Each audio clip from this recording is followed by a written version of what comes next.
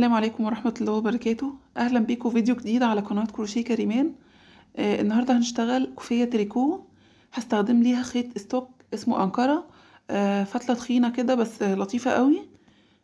وفيها آه زي لون أسود بسيط قوي مديلها شكل حلو قوي يمكن مش باين في التصوير قوي. وهستخدم معاها سنارة سبعة ملي آه هي هو مكتوب على الخيط إنه ممكن نستخدم إبرة من تلاتة لأربعة. ولكن أنا استخدمت سبعة لأن كوفية عايزاها تبقى طرية. طلع حلو جدا وممكن كمان أستخدم آه تمانية كمان وتسعة. هيبقى لطيف قوي. آه هجيب آه قلب الشلة. الكوفية دي طبعا بسيطة جدا جدا جدا. لو لسه مبتدئين نقدر نشتغلها. آه يكفي بس إن إحنا نكون عارفين الغرزة العدل والغرزة المقلوب مش أكتر من كده. الكوفية دي هبدأ أشتغلها على آه سبعتاشر غرزة. طبعا تقدروا تزودوا زي ما أنتوا عايزين ولكن أنا جايبة 200 جرام بس من الخيط يعني شلتين. لو أنتوا عايزين كوفية طويلة وعريضة يبقى هنستخدم 3 شلات أو 4 على حسب أنتوا عايزينها قد إيه. هعمل لفات كده سبت طرف بسيط قوي من الخيط وهعمل لفات بعدد الغرز. هعمل 17 لفة على السنورة وبعد كده أعلم الخيط عند ال 17 لفة. همسك الخيط بالشكل ده وأنزل الغرز. أحط الخيط ده بقى على الشمال. وبكرة الخيط على يمين. بعد كده هبدأ أخد لفة على إيدي اليمين أدخل في السنارة وأحط الخيط اللي على الشمال عليها وبعد كده أرجع باللفة مرة تانية.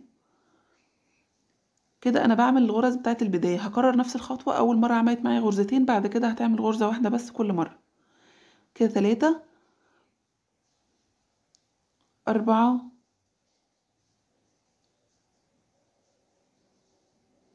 خمسة هكمل سبعتاشر غرزة. كده أنا اشتغلت السبعتاشر غرزة. هبدأ أشتغل بقى عليهم بالسنارة التانية. إيه الغرزة اللي أنا هشتغلها بسيطة جدا جدا لو لسه مبتدئين تقدروا تشتغلوها لأنه مفيهاش أي شغل غير مقلوب وعدل وترتيب سطور مش أكتر. الغرزة العدل آه الخيط لورا بدخل في الغرزة من ناحية الشغل وبحط عليها الخيط وأطلع اللفة الجديدة. هكررها مرة تانية أهو. دخلت في الغرزة من ناحية الشغل وحطيت عليها الخيط من ورا وأسحب الخيط وبعد كده أنزل الغرزة من على السنارة التانية.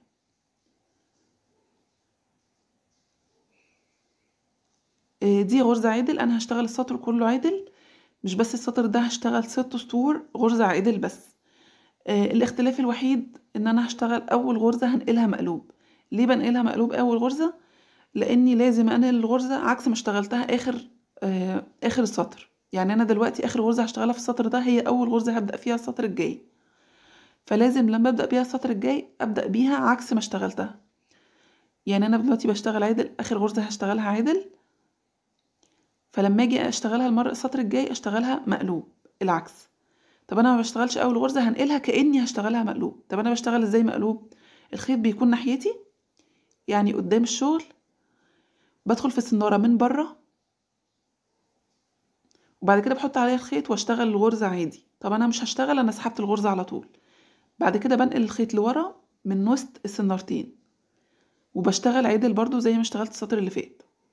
ده السطر التاني وهكرر كمان أربع سطور زيه عشان أخلص الجزء اللي هو كله عدل.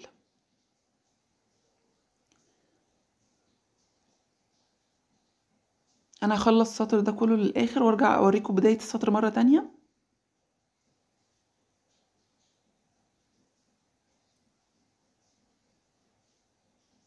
خلصت السطر بالشكل ده كده. هبدأ السطر التالت برضو هنقل الغرزة كأني هشتغلها مقلوب. باخدها من بره وانقلها على السنارة.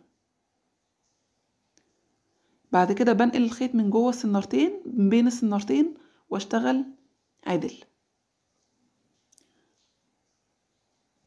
ده السطر التالت. لسه باقي عندي تلات سطور هشتغلهم بغرزة عدل.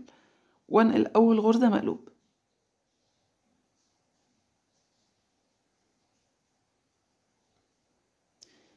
كده أنا اشتغلت خمس سطور. واحد.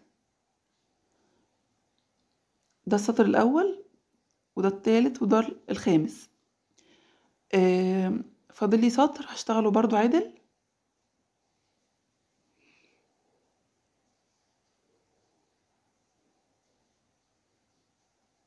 هنقل الغرزة الأولى مقلوب.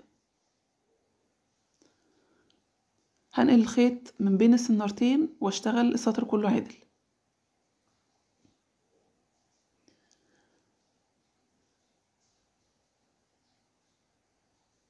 هكمل السطر عدل. أنا كده وصلت لنهاية السطر. أنا كده خلصت ست سطور العدل. السطر الجاي هشتغل سطر مقلوب وسطر عدل. ده ظهر الشغل. ليه من السطر الجاي هشتغل سطر مقلوب وسطر عدل؟ عشان أنا عايزة المقلوب كله يبقى في جنب واحد والعدل كله يبقى في جنب واحد. أنا اشتغلت السطر اللي فات كان عدل فالسطر ده هشتغله مقلوب نقلت مقلوب وهشتغل مقلوب. هشتغل برضو ست سطور سطر عدل وسطر مقلوب. بدأت بمقلوب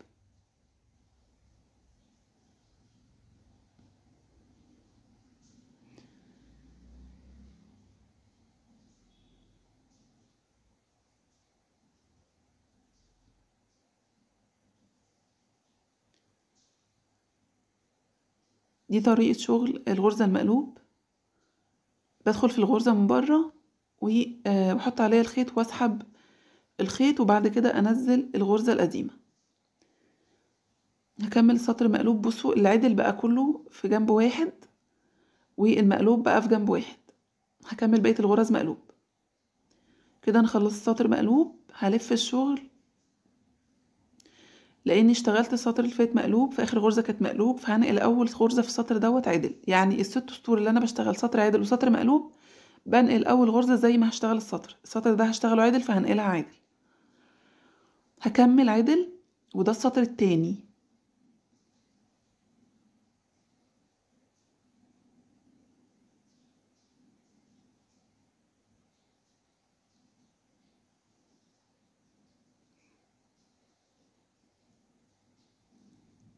يبقى أنا بشتغل ست سطور آه كله عدل وست سطور سطر مقلوب وسطر عدل.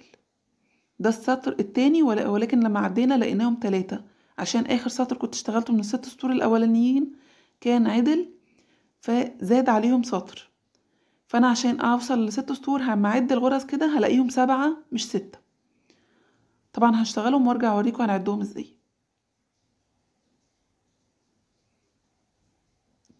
اتنين على السطر اللي أنا مشتغلتهمش ودول تلاتة. هكمل كده. أربع سطور كمان. بصوا أنا كده خلصت الأربع سطور. بصوا لما نعد الاقي اتنين تلاتة أربعة خمسة ستة سبعة. يبقى أنا كده اشتغلت ست سطور. دلوقتي أنا على ظهر الشغل.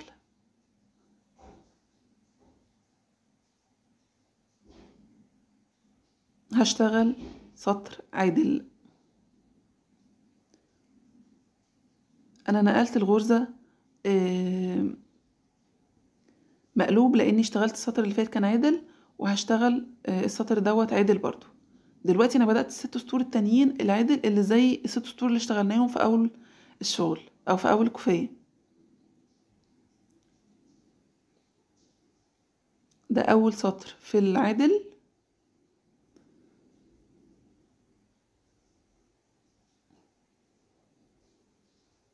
نقلت أول غرزة مقلوب لأني كنت بشتغل عدل وهشتغل عدل برضو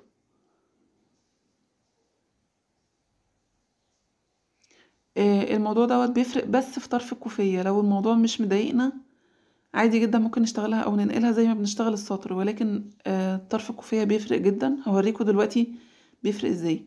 أنا هشتغل خمس سطور كمان اللي هو تكرار الوحدة الأولى. بصوا أنا كده كررت الوحدة اللي هي ست سطور عدل وست سطور سطر عدل وسطر مقلوب. أو مقلوب وبعدين عادل مقلوب وبعدين عادل دلوقتي الشلة خلصت عندي فهبدأ الشلة الجديدة عايزة أوريكم هوصلها إزاي. أنا بقسم طرف الخيط الجديد وطرف الخيط القديم. دي الشلة الجديدة قسمتها بالشكل ده. ودي الشلة اللي خلصت عندي هقسمها برضو.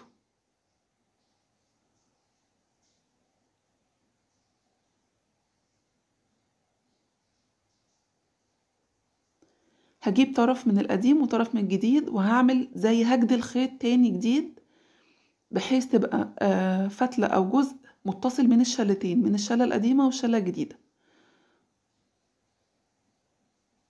وهتبقى بنفس سمك الخيط اللي أنا شغلاه بيه كل كوفية.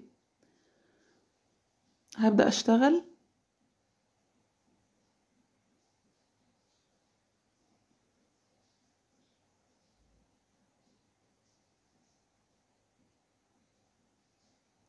آخر سطر كان عدل أهو. هشتغل سطر مقلوب وسطر عدل يبقى أنا خلصت الستة اللي هما آه كانوا آه ستة عدل ودلوقتي هبدأ الستة اللي هما واحد مقلوب وواحد عدل بشتغل مقلوب. دلوقتي هشتغل بالجزء اللي أنا وصلته بين الشلتين آه الخيط اللي أنا خدت منه طرف قديم وطرف جديد. هشتغل بالجزء دوت خمس ست غرز. وبعد كده أكمل بالخيط الجديد عادي ويفضل عندي أربع فتل كده هشطبهم في الآخر. بدون أي رابطة وعمره ما يفك خالص. وفي نفس الوقت الفينش بتاعه هيبقى كأنه مفيش وصلة في الخيط. أنا كده اشتغلت خمس ست غرز هشتغل بقى بالخيط الجديد.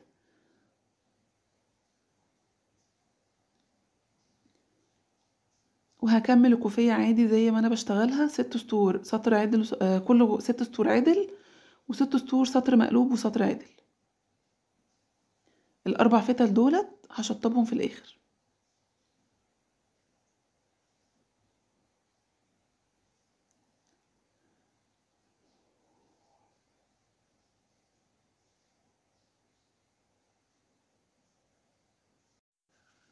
قبل ما أخلص الشلة التانية عايزة أعمل الشراشيب هعمل أربع شراشيب من الشرشوبة دي. أه هحتاج مقص وإبرة أه تشطيب زي دي. هجيب أربع فتل زي دولت طبعا بقصهم كلهم نفس الطول عشان الشراشيب كلها تطلع نفس الطول. قطعة الخيط دي تقريبا خمسين سنتي أنا تانيها على اتنين. بص هيسهلكوا كده يعني كده تقريبا الشبر عشرين سنتي وفي بعديه حوالي خمسة سنتي يعني خمسة وعشرين طبعا في اتنين يعني خمسين سنتي.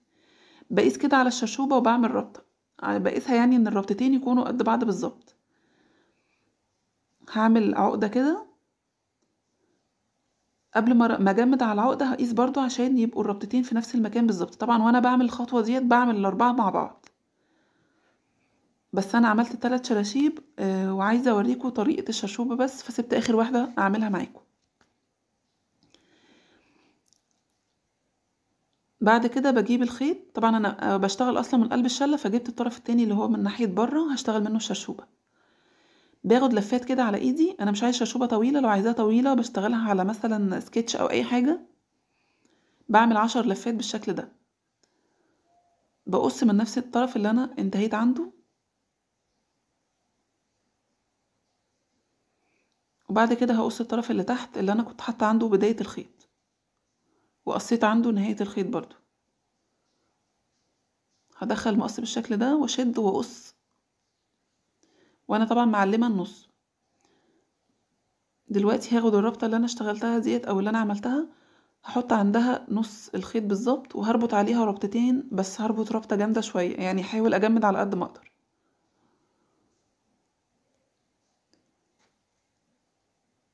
هعمل ربطتين عقدتين مش عقدة واحدة. بس بجمد عشان الخيط ما يفلتش وينزل من من على ال أو من الشرشوبة مع الغسيل يعني. هربط الربطة التانية.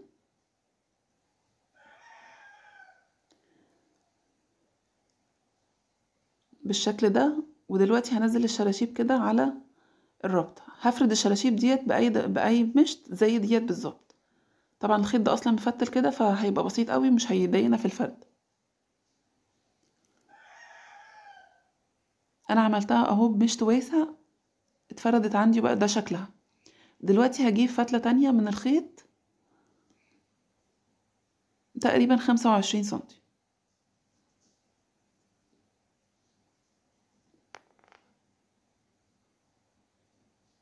بالشكل ده كده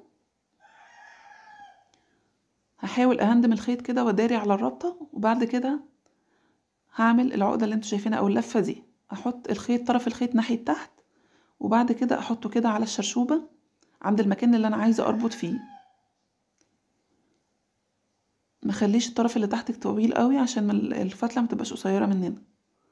وبعد كده هاخد عدد لفات طبعا بشد وأنا مثبتة واللفة أو الفتحة اللي فوق ديت بتفضل موجودة وباينة.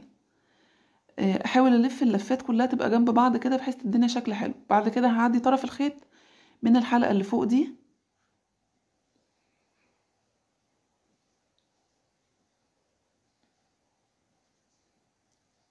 لو اللفة هوت ما تقلقوش لسه هنشد الخيط فهتشد معانا. طلعتها بالشكل ده. هشد بقى الطرف اللي تحت مع الطرف اللي فوق. بس أنا شديت الطرف اللي تحت الأول عشان أنزل باللفة تحت. هجمد بقى إن أنا أشدهم الاتنين مع بعض. وبعد كده هلضم الفتلة اللي فوق ديت في إبرة التشطيب.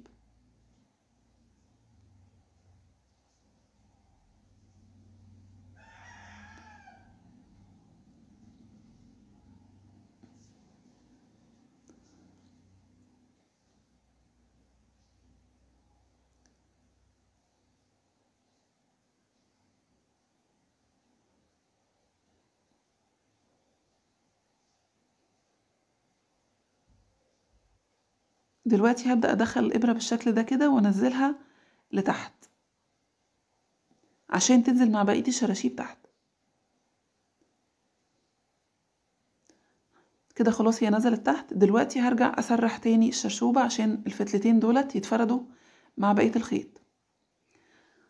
بالشكل ده كده هجيب بقى الشرشوبة من الشراشيب أو أسيبهم الأربعة وأقصهم مع بعض. أنا طبعا قصيت تلاتة وفاضل لي واحدة بس فهقصها لازم أقيس على شرشوبة تانية عشان يطلعوا آه، كلهم طول واحد. وهقص الزيادات بالشكل ده.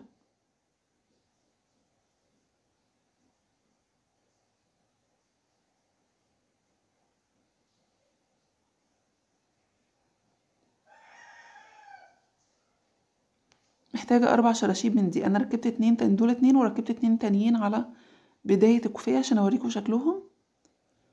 بالشكل ده كده.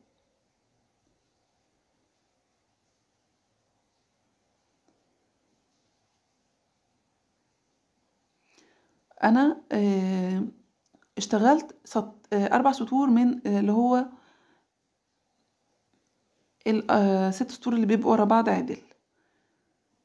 هشتغل سطر التقفيل كمان. طبعا أنا لازم أنتهي بكنار زي الكنار اللي أنا بدأت بيه اللي هو الست سطور العدل.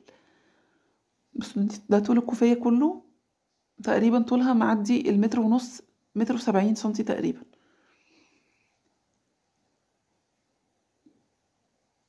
دلوقتي هقفل أنا عايزة أقفل على المقلوب عشان يبقى عندي سطر مقلوب كمان آه، يديني خط من الخطوط ديت يبقوا ثلاث خطوط زي نقطة البداية. نزلت أول غرزة بالشكل دوت. طبعا أنا كنت اشتغلت غرزة كمان سطر كمان ف الخيط ما كفاش إن أنا أقفل فرجعت فكيت سطر كمان.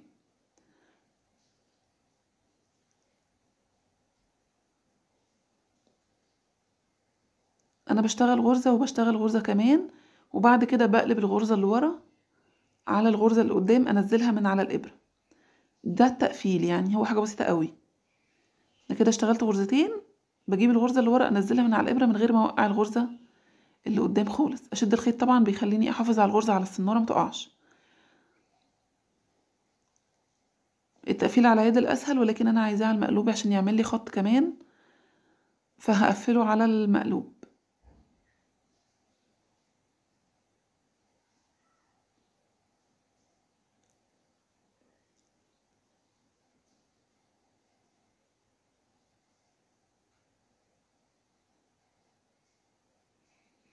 دي طريقة التقفيل أنا هكمل السطر كله.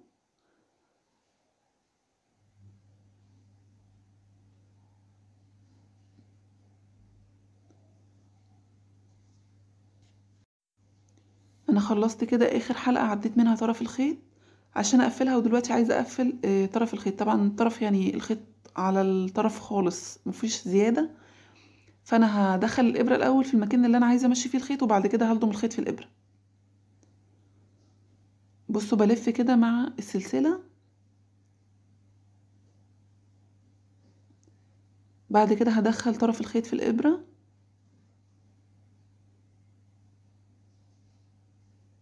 أنا كنت ممكن أفك واحدة ولكن أنا عايزة طول أطول طول ممكن يعني.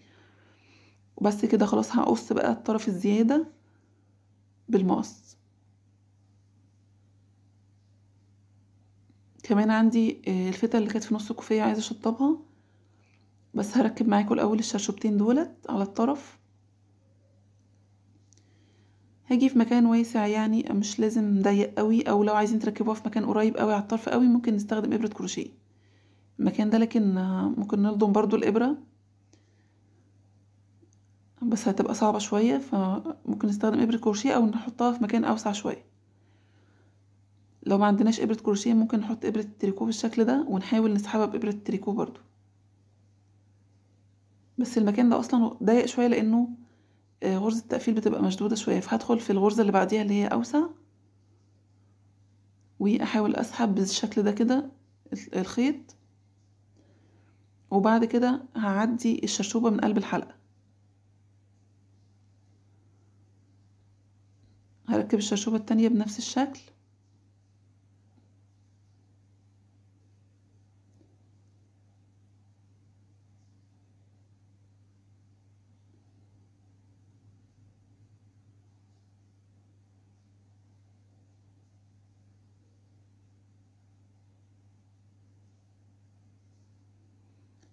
عايزة أشطب آه، الفتة اللي في نص الكوفية بتاعت وصلة الشلتين. هلضم فتلة فتلة وهبدأ أمشيها في وسط الشغل. وطبعا لو الفتلة قصيرة زي ما قلتلكوا هنمشي الإبرة في المكان اللي إحنا عايزين الخيط يمشي فيه. وبعد كده بصوا أنا بمشي مع الغرز. يعني شوف الخيط رايح فين وأمشي معاه. بحيث إن الخيط آه، الطرف بتاع التشطيب دوت ما يكونش ماشي في مكان مش مش مش طبيعي لمشيان الخيط فيبقى باين. لا أنا بنسجه كده في وسط آه، الشغل.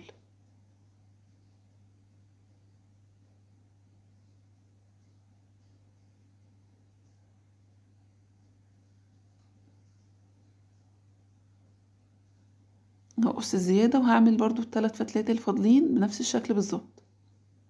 بصوا مش باينة خالص إنها في فتلة متشطبة. أنا خلصت الكوفية بالشكل ده كده. الكوفية طولها مية وسبعين سنتي وعرضها آه، خمستاشر سنتي. أنا بقى اللي أنا آخر خطوة هعملها طبعا مش هعملها معاكم بس هتشوفوها لما أصور الكوفية في الآخر. أنا هشد بالشكل ده على ظهر الكوفية وهحط قماشة قطن وهكوي بمكوى بخار مش على الوش عشان الغرز اللي هي بارزة دي ما تهبطش جوه.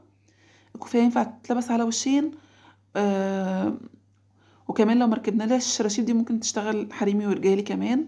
ممكن نعمل نفس الغرز ديت على خيط غامق أسود أو بني أو رصاصي وتمشي كوفية رجالي حلوة جدا. يا رب تكون سهلة عليكم وتكون عجبتكم. لو عجبتكم متنسوش تعملوا لايك ولو أول مرة تشوفوني ما تنسوش تشتركوا في القناة وتشغلوا الجرس عشان يوصلكوا إشعار بكل فيديو جديد. سلام عليكم وأشوفكم في فيديو جديد.